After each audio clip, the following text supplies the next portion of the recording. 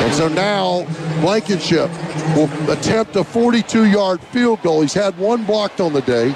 Plenty of distance for him he's got in this gearbox. But Carolina's blocked.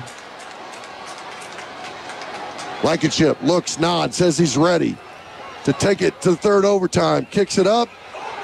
And no good! He That's missed it! He missed it! And the Gamecocks win it at Athens in second overtime. Carolina takes down number three, Georgia. They win it 20 to 17. I am not believing that. A two overtime victory against the number three team in the country. We break a four game losing streak, and Georgia trots to the locker room. Tell you, I said earlier, Todd, a lot of firsts today for Carolina. You know, we talked about Fromm and not throwing an interception. He threw three today to the same guy. Thank you very much. And then, of course, Blankenship had not missed a field goal. He got one block. Then the key right here, he missed it. So, you know, you take him any way you can get him, folks. But I'm going to tell you one thing. I want you to listen to me, fans. Never have so few given so much for so many. It's unbelievable.